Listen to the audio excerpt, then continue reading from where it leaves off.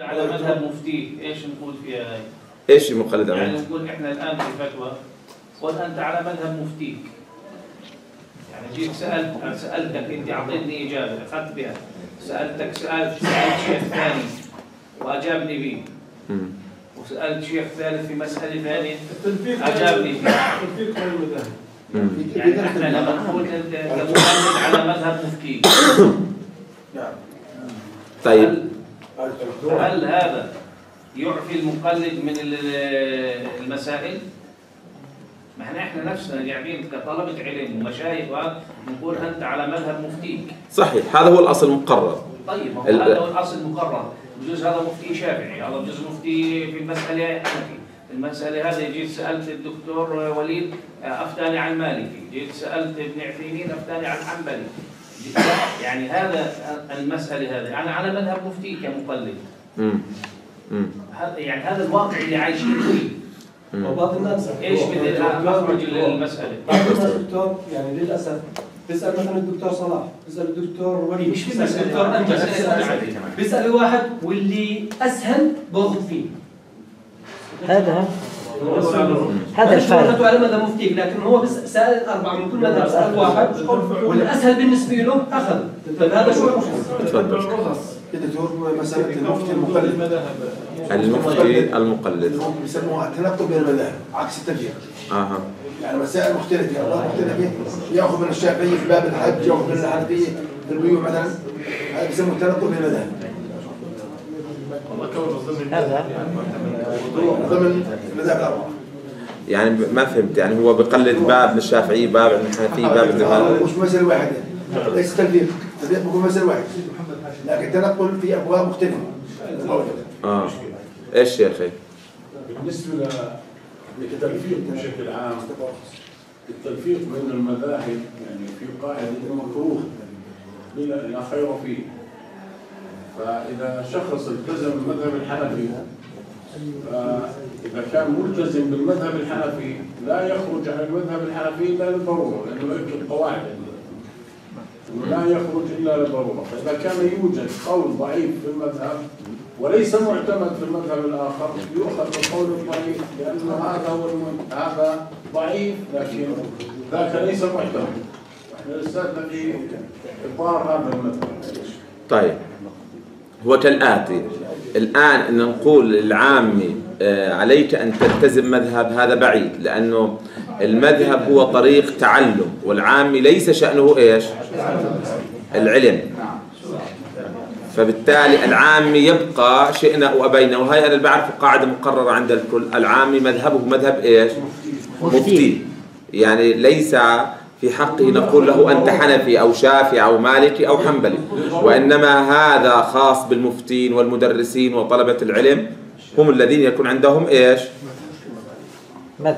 مذهب. لكن ال- ال- المدرسين والمفتين والقضاة عندما يكون عندهم مذاهب ويسيرون عليها تلقائي العام يعيش ويرجع إليهم وبالتالي يصبح عنده مذهب بس. ليس قصدا بأنه اختار مذهب ولكن من يستفتيهم ومن يسألهم هم عندهم هذا إيش؟ عندهم هذا المذهب.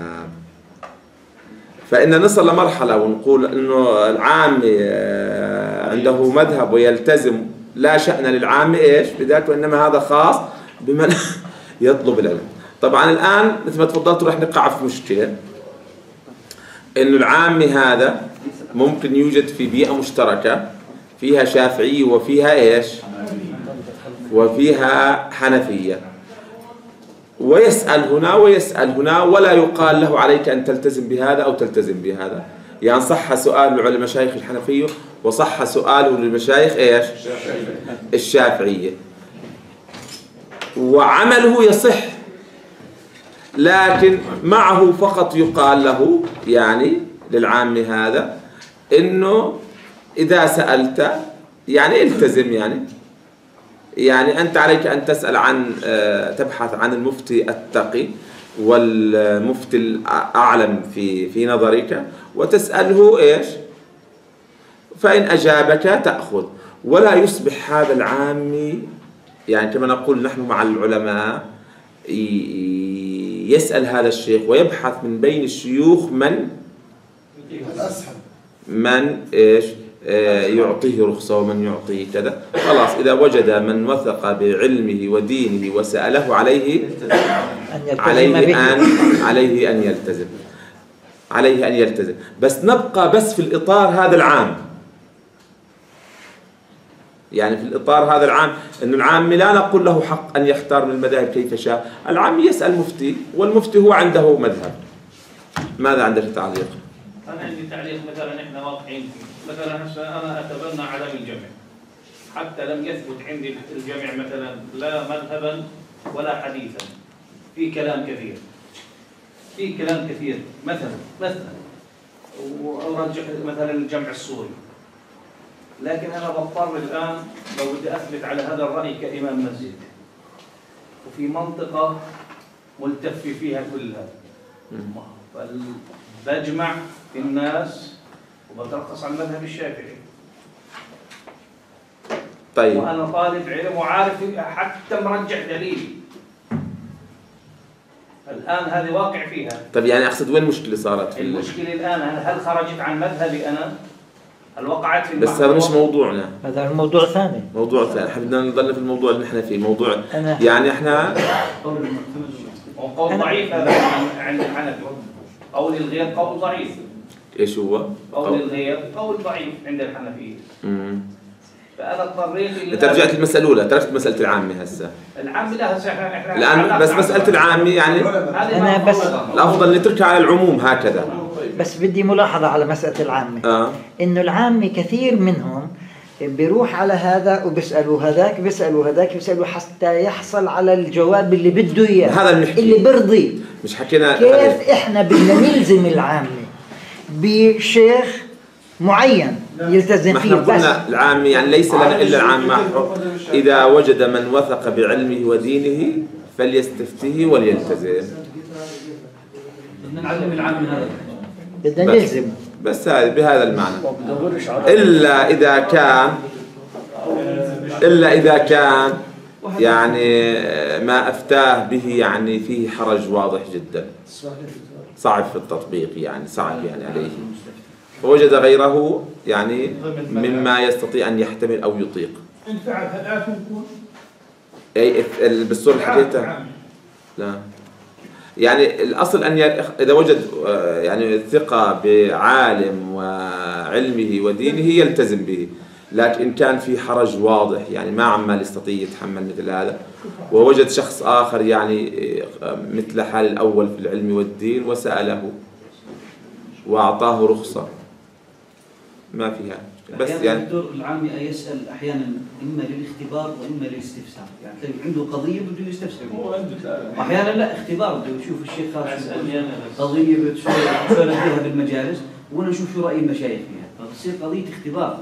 هذا قال كذا ويصيروا يطلعوا يقولوا الشيوخ كل واحد بيفتي بشكل اسمع طيب، احكي شيخ. عليه. آه. يقولون أنه الأصل أن يحجز علم الخلاف عن العوام لأنهم لا لا يدركون طبيعة هذا العلم. صح. لكن الخلل آه، بين أحيانا يكون العلماء. يعني الأصل علماء منطقة معينة أن يتفقوا على أن يكون المذهب الحنفي نعم. هو الذي يفتى به أو المذهب الشافعي. فاتفاقهم هو الذي يعني يجعل يبد الخلاف في المجتمع. أما المجتمع يبقى نعم. يعني مختلف. يبقى يعني بلبل. إلا إذا اتفقوا إنه دائره الإفتاء إنه جميع ال- الالتزام بمذهب. معين. هو يعني إحنا يعني ما نستطيع آه، نحجر أو نحضر في شيء فيه سعة يعني حقيقة. يعني وجد في آه، بلاد كثيرة يوجد في نفس الوقت مذهبين وثلاثة في منطقة واحدة. يعني بده يشكل على آه، في حيرة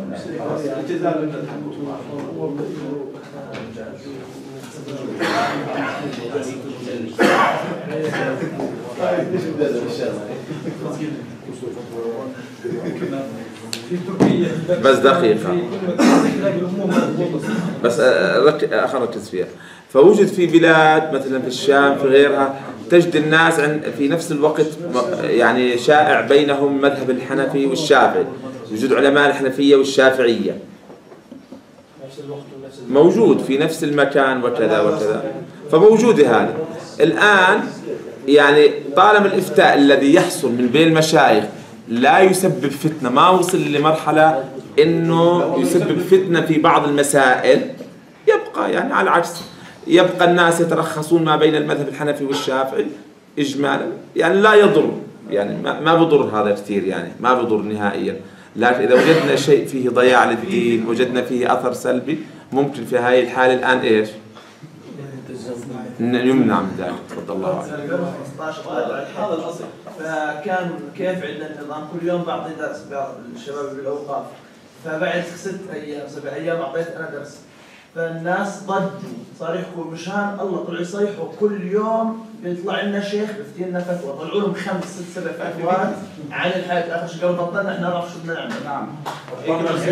لا أنت الآن أنت بدك كل يوم فتوى شيخي كل يوم أنا أنت بدك تفرق بس يكون مشايخ بس يكون نتكلم عن مذاهب فقهية. ترى مسائلها مستقرة وقريبة من بعضها. وهم عارفين بس يكون منطقي في حنفية شافعية مالكية عارفين مسائلهم. وبراعوها. انت الآن المشكلة اللي حاصل بمجتمعنا إنه في تباعد جدا في الفتاوى مش زي فتاوى المذاهب متقاربة يعني. يعني آه فكل واحد فجاء هذه المشكلة مش هنا من إيش؟ الإفتاء اللي صادر من أشخاص بلا رجوع بلا ضابط علمي. طبعا قدامنا مدير العماره اللي هو الله يسمحه مدير اوقاف العقد بتسمعوا الغوا كل اللي سمعتوه اعتبروا حالكم ما سمعتوا ولا شيء عن مذهب واحد للنهاية. الدكتور يعني المهارة آه. مرشد مع آه مثلا. طيب. إذا لاحظتوا حتى العمل بالمذهب الغير يجوز عندنا أو لا يجوز؟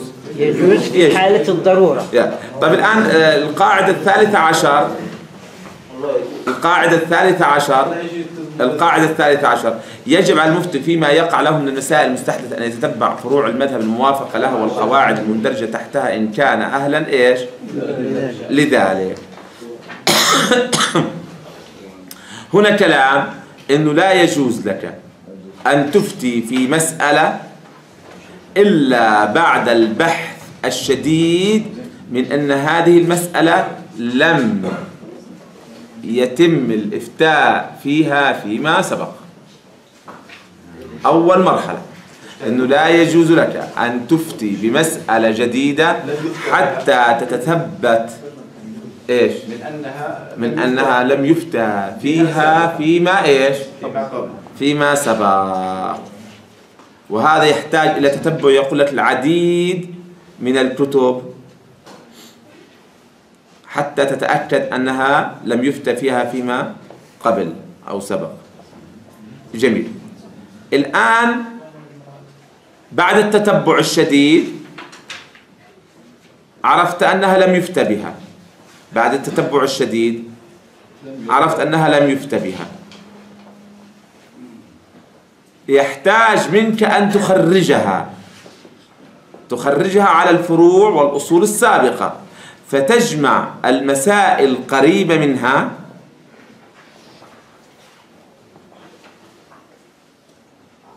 وأقرب الأصول إليها. وتنظر فيها. اللي حكوا عنها قبل شوي المشايخ مثلا في محكمة الاستئناف أن لهم أن آه، يخرجوها على القواعد. يعني يأتوا إلى أقرب إيش؟ أصل بناء بنسميه إذا حبيت تسموه قاعدة بصير يعني. وإنه هذا هذه المسألة المعاصرة ممكن أن نخرجها على هذا الأصل. هو قريب منها. اللي هو التخريج آه؟ هذا تخريج القا... تخريج الفروع على القواعد. بس هي أي قواعد مشايخي؟ بس قو... قواعد الجزئية وليست القواعد الكلية. يروح يخرج على قاعدة أمور بمقاصدها. لا بده يأتي لق... على شيء جزئي قريب منها وماذا يفعل به؟ ويفرعه إيش؟ ويفرعه عليها. وإن احتاج أن يذهب إلى القاعدة الكلية. له ذلك؟ لمين؟ أن يذهب إلى القاعدة الكلية ويخرج عليها. القاعدة الكلية لا يخرج عليها أصلا. أصلا لا على يخرج الجزئيات فقط؟ فقط. القاعدة الكلية كلام عام. نعم. هي القواعد الكلية الخمسة التي تعرفها إجمالا هاي كلام عام جدا يعني. والله تخرج تحت لا ضرر ولا ضرار كيف يعني؟ يعني أنت كأنك من آه الأمور من مقاصدها. كيف يعني؟ هون السؤال آه اجتهاد مطلق يعني. لأن هي مجرد مرشدة. فلا بد أن يخرج على القواعد الفرعية الجزئية. آه. السؤال اللي سألته في بداية المسألة اللي قبلها. إذا كان العمل مرجوح في المذهب ونروح على عمل ثاني. الآن إحنا معروف عند الحنفية أنهم يخرجوا الفروع على الأصول وغير الحنفية الجمهور. بدأوا من الأصول على الفروع أو العكس. والله أنا الكلام هذا برضه مشكوك فيه بشعر مشكوك فيه كمان. هيك علمونا الآن يعني هل يعقل في مذهب غير هاي الطريقة؟ قالوا الجمهور يخرج من الفروع على الأصول والحنفية من الأصول إلى الفروع. مرة أخرى؟ الجمهور. بدأوا من الفروع حتى وصلوا إلى الأصول.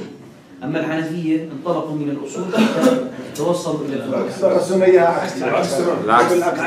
احكي اعكسها اعكسها يعني الحنفية استلمت أصولهم من الفروع. استنبطوا من الأصول. ربطوا بين الأصول وبين الفروع المتكلمين حققوا مسائل تحقيق نظري. بدون نظر إلى قضية الفروع بس هذول انت أنت حكيت حقيقة المتكلمين صح؟ أيوة. وبالتالي آه، الشافعية كمذهب فقهي يعني ينبغي أن لا يكون حالهم مختلف عن الحنفية وفكر فيها كيف سيكون يعني الشافعية؟ صح؟ فكر كمذهب شافعي هل يمكن أن ي... أن... أنهم استخرجوا قواعد الأصول عندهم من غير الفروع؟ وحققوها تحقيق نظري ما هل تنطبق أو لا تنطبق ما نظر إلى قضية التطبيق لكن الحنفية استلمت الأصول من الفروع هذا كلام. هذا كلام جميل للمتكلمين كلفظ متكلمين اللي هم مشتغلين في العقائد. الآن تعال المذهب الشافعي والحنبلي والمالكي. فيما قالوا هذه أصولنا هل يمكن أن يكون طريق غير النظر في الفروع؟ والآيات والحديث واستخراج أحكام. لا يمكن. أنت بتصور شو بحكي لا يمكن. فالكل سواء يعني. على كل حال رح نناقشها هي في الأصول إن يعني شاء يا الله. دكتور هو القصد الله أعلم. انهم هذول بداية جابوا على النصوص. كتاب وسنة. استنبطوا المسائل بدايتها بدون قواعد. أنا بس بدي أصور للشيخ الشيخ هاشم عشان في الموضوع لأنه حابب نناقشه في الأصول. الآن في النتيجة سواء الحنفية أو الشافعية أو المالكيه والحنابله الكل عندهم مجتهد مطلق. مجتهد مطلق استخرج لنا فروع. ركز معي. والفروع نقلت عنه. نعم. كلهم سواء صح. صح؟ نعم. وأيضا في عندنا قرآن وسنة منقولات عن الرسول صلى الله عليه وسلم. صح؟ الآن الأصول في المذاهب الأربعة استنبطت من متأخرين. صح؟ الشافعي لم يتكلم في الأصول. ركز معي. بس صح. الشافعي لم يتكلم في الأصول بالتفصيل. نعم. ولا أحمد ولا مالك ولا أبو حنيفة صح؟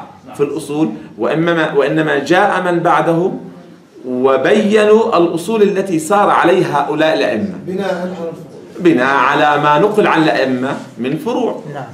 بمقابلتها بالقرآن والسنة. يعني شيء لا يحتمل يعني واحد زائد واحد يساوي اثنين. الشافعي ما نقل عنه أصول. أصوله في الرسالة تعرف محصورة محدودة. يعني ما نقل وإنما هاي الأصول كلها إيش؟ استنباطية. استنباط. وأحمد كذلك ومالك كذلك فهم حالهم كأبي حنيفة. لا يختلفون. وإلا كيف الشافعي عندهم هذه الأصول الطويلة؟ من أين أتت؟ كيف؟ هل حققوها تحقيق نظري بعيد عن الفروع؟ فلم تعد أصولا راجعة لهم. صارت أصول للدين. ركز معي. اللي هي أصول المتكلمين حقيقة التي حققوها بذاتها كعقائد. أما كفقهاء لا يصلح لأن نحن نقول أصول شافعية. جبرا لازم تكون أصول مأخوذة. بإيش؟ لأن الأصل ما هو؟ هو تفسير العلاقة. ما بين القرآن والسنة وفرع الإمام. الأصل هو تفسير العلاقة ما بين القرآن والسنة وفرع الإمام. تنظر في فرع الإمام وبتنظر في القرآن والسنة. كيف نتج هذا من هذا؟ بتقول الأصل الذي اعتمد عليه الشافعي كذا أحمد كذا مالك كذا. فما في ما في عندنا يعني ما في عندنا طريق أخرى يعني حتى نفكر. تبصرين شو بحكي؟ وحاولوا هاي المسألة فكروا فيها أكثر. الآن يذكر في الكتب, في الكتب كلام آخر شيء. آخر نناقش. بس يعني احكي لي إذا إذا يصح الكلام اللي تفضلت فيه هكذا إذا ما في أصول لا عند الشافعي والمالكي ولا الحنابلة. ما في. وهذا بعيد إيش؟ هذا بعيد جدا جدا. صحيح؟ طيب هاي انتهينا من هاي المسألة. الآن آه، آه، القاعدة الرابعة عشر هاي بس آه، نقف عليها لحظة ونظلنا من الطافرين آه، 533 أنا عندي. هناك اصطلاحات لكل مذهب. طيب مشايخنا نقف مع هاي النقطة. كل أصحاب علم لهم اصطلاحاتهم الخاصة بهم. العوام في قرى إربد في قرى المفرق في ستجد كل قرية عوام بسطاء لهم اصطلاحات على مسميات أشياء. وليسوا أصحاب علم ومع ذلك عندهم اصطلاحات. وحتى إيش؟ تفهم ماذا يقولون. لابد أن تعرف ما هي إيش؟ مصطلحات فكذلك العلوم كلها أصحابها هناك اصطلاحات درجوا عليها. ولا يمكن لك أن تعرف هذه الاصطلاحات إلا بعد قراءة عدة كتب عندهم فتتعرف على اصطلاحاتهم. واثنين قلنا أنه آه، العلم يتكون من اصطلاحات خاصة ويتكلم يتكون من قواعد. فمن درس علما وعرف عرف اصطلاحاته وعرف قواعده فهمه. فيها شيء فنحن بس ندرس مذهب حنفي بيكون عندنا هم بأمرين أن نعرف ما هي القواعد التي بني عليها المذهب وما هي المصطلحات التي يسير إيش؟ عليها. وهذا لا يكون إلا الدراسة. بدون معرفة المصطلحات والقواعد لا يمكن أن تفهم العلم. وبالتالي هذه الأيام مفتوح والله. مفتوح التدفئية وبدون معرفة مصطلحات العلم وقواعده لا يؤتمن شخص في فهم أي مذهب. وهذا المشكلة أيام هاي نقع فيها. نجد عندنا تحليل وفهم للعبارات المذاهب وهذا الشخص لا يعرف لا اصطلاحات العلم ولا يعرف إيش؟ ولا يعرف قواعده ففي عندنا إشكالية إيش؟ وا- واضحة. الآن ما مذكور أمامكم هنا لا. شيء قليل جدا يعني. بس كفكرة عامة مثلا. اصطلاحات المذهب الشافعي مثلا. اصطلاحات إيش؟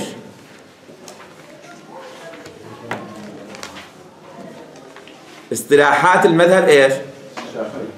الحنفي أول شيء الحنفي. مثلا الإمام قال أبو حنيفة صاحب المذهب أبو حنيفة الصاحبان أبو يوسف محمد مثال نمشي. الشيخان أبو حنيفة وأبو يوسف رأيته؟ الطرفان محمد وأبو حنيفة. الإمام الثاني أبو يوسف الرباني محمد. خلص شاع مصطلح أنه الإمام إيش؟ عند أئمتنا الثلاثة أبو حنيفة أبو يوسف محمد. طب الثالث مين مشايخنا؟ محمد آه؟ الإمام الثالث. عنده هاي مسألة مهمة. عندما قال عنده مشايخنا في مذهبنا ما معناها؟ يعني هذه متوافق عليها الكتب إلا إذا كان في خطأ في تحقيق الكتاب كمطبوعات ونسخ مخطوطة بس يقول عنده يعني هذا يعني- القول المعتمد في المذهب عند أبي حنيفة لا لا لا ليس مهم عند أبي حنيفة كفكرة بس إنه هذا هو القول إيش؟ المعتمد في المذهب آه هذا هو القول المعتمد إيش؟ في المذهب. هذا هو القول المعتمد في المذهب. آه هذا انتهينا منها عنده. الآن عنده هذا الضمير على حسب عندما نقول وعنده عادة أبو حنيفة ينفرد عن صاحبي فيقصد بها آه، أبا حنيفة وعنده ما يقصد بها مين؟ الصاحبين. بس إذا قال, محمد بعدها وعندهما يقصد في مين؟ الآن مثلا الشيخين. وهكذا على حسب. بس أنا الذي يهمني إنه إنه عنده المعتمد. عنه هذه رواية في المذهب قول ضعيف. اللي هي في الصفحة اللي بعديها عندكم. عنده وعنه الفرق بينهما رأيتوها؟ عندنا في نفس الصفحة 393 آه أنت انت صح الآن روايتان بس هاي عنده عنه أحفظوها هاي يعني مهمة جدا عندنا. روايتان نحن طبعا مذهبنا قليل ما يكون روايتين. شو السبب؟ قالوا في مذهب الحنفية مش مثل الشافعي. الشافعي عنده شاعة وكثر أن يقول عنه روايتان. الشافعي يقولون إذا تعارض القياس عنده يتوقف. إذا تعارض القياس يتوقف. لا يذهب إلى مرجح آخر. فصار عنده إيش؟ قولان. عند أبي حنيفة يرجح بما يميل إليه القلب. بعد القياس يميل إلى رجح ما مال إليه آه، قلبه. أو الملكة الفقهية. نعم هي الملكة الفقهية. ما مال إليه قلبه فخرج من أن يكون عنده قولان. وصلت الفكرة؟ عند الشافعي كثر أنه قولان روايتان. عند الحنفية هذا قليل أن أقول فيه قولان أو روايتان. ليش؟ عند الحنفية إذا اختلف القياس نرجح بالقلب. يعني ما مال إليه القلب من أحدهما. عند الشافعي يتوقف. فعندما توقف صار عنده إيش؟ قولين. هي أمامكم. آه، الحسن إذا أطلق الحسن بن زياد شمس الأئمة إذا أطلق ترى السرخسي بالدرجة الأولى. إذا أطلق شمس الأئمة مين؟ السرخسي. بعديها شيء شيخ آه، الإسلام إذا أطلق بالله اكتبوها جنبها المقصود خواهر زادة. أشهر شيء في المذهب إذا أطلق شيخ الإسلام من هو؟ خواهر زادة. خواهر هي آخر إيش مذكور الحسن الحسن مين؟ حسن الشيخ الحسن بن زياد سيدي. مش حسن البصري لا لا لا لا. في مذهبنا الحسن بن زياد. إذا شيخ الإسلام خواهر زادة. شيخ الإسلام في مذهبنا مين؟ خواهر زادة. ابن أخ عالم معنا. مكتوبة مش مكتوبة؟ لا. لا لا مكتوب. آخر شيء في الفقرة. بعد وعلي السغدي وعلي بن محمد الإسبيجاني. وخواهر زادة وعلي بن آه، آه، محمد السبيجابي لا لا. مش شفتوه؟ علي. بعد علي علي السغدي بن محمد في شيء. أو علي السغدي ما في شيء. مش مكتوب هذا؟ لا لا. طب على كل حال إذا خواهر إيش؟ زاد. خواهر كتبناه. هو أشهر شيء في المذهب. خواهر زادة خواهر زادة خواهر زادة خواهر زادة. الفضلي محمد الفضل الكماري.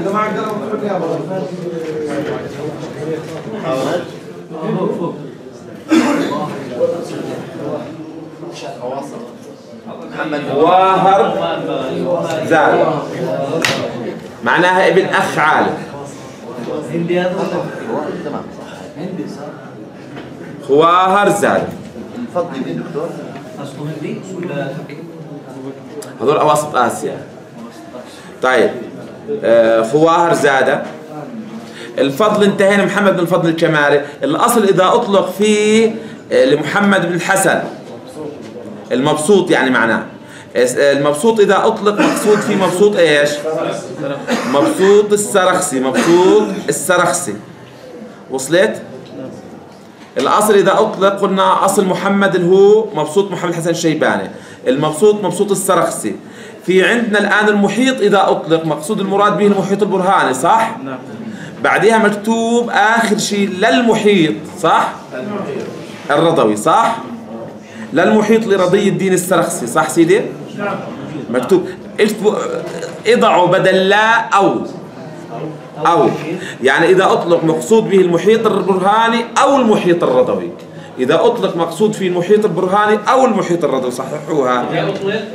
يراد به المحيط البرهاني أو المحيط الرضوي. والله صلحها. كيف بدنا نميز بين إلا إلا تراجع المسألة تشوف وين يعني الكتاب نفسه. يعني أو مش لا. أو. شو يقصد أو بدل. المحيط البرهاني أو المحيط الرضوي. يجوز يصح بس ترى يجوز قالوا لا تخلو من نوع كراهة يجوز. ولا بأس به أيضا لا تخلو من نوع إيش؟ كراهة. ينبغي يستخدم في المندوب. يكره يستخدم في الكراهة التحريمية. السنة السنة المؤكدة. الواجب ممكن يدخل فيه الفرض. الفرض يطلق ويراد به يجوز يجوز. الأركان عادة. يجوز كراهة تنزيهية ولا تحريمية؟ كراهة تنزيهية. لا تنزيهي فقط. الفرض الآن إذا أطلق عادة يقصد به الركن عادة بس ممكن يراد به أعم الركن والشرط. هاي خلصنا منها. قيل يعني ذهب إلى المشايخ المتقدمون متأخر. طبعا متقدم متأخر مشايخنا على حسب مين؟ القائل يعني. يعني اعطيت المتأخرين عارفين من هم اعتبروا أول في الكتب المتقد يعني الكتب القديمة اعتبروا آه، اللي بعد أئمتنا الثلاثة هذول متأخرين. متاخر هذول متأخرين. متأخرون. حتى من عند المتاخرون يعني مش آه، اللي هم آه، بعد ال- يعني بعد تلاميذ أبي حنيفة كلهم هذول والشيخ آه متأخرين. فعلى حسب الشخص اللي استخدمها وعلى حسب اطلاقها يعني نعم نعم آه، عيسى بن حبان له أصول كتب آه، مبينه آه، يقولون الحجة له طبع آه، حققت في آه، آه، كلية أبي حنيفة في بغداد بس ما رأيتها. يعني سمعت بس أنا وصيت لحد الآن ما وصلت. هي بس هو كلامه موجود بالتفصيل في الفصول في الأصول. طيب بعديها الذهبي انتهينا هاي مش مهم.